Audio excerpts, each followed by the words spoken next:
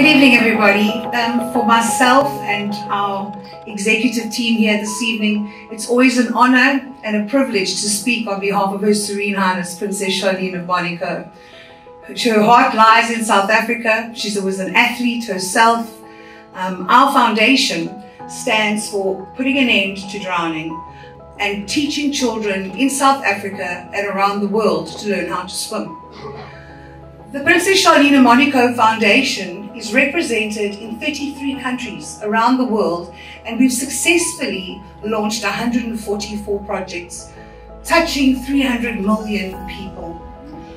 We are extremely proud to be aligned and the patron, godmother, of Life Saving South Africa.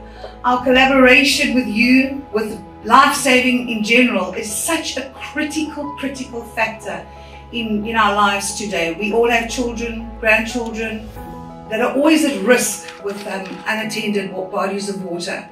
So on behalf of our foundation, I would not only like to thank all the lifesavers out there, all the executive committees of the lifesaving that strive and volunteer daily to make our world a safer place. To our sports and education authorities, thank you for putting time in. And of course, our DHL, Thank you for all that you're putting in as a company and as a corporate and understanding the atrocities that go with drownings. So if all of us are putting our hands together tonight to prevent what is so important to Her Serene Highness is to stop drowning.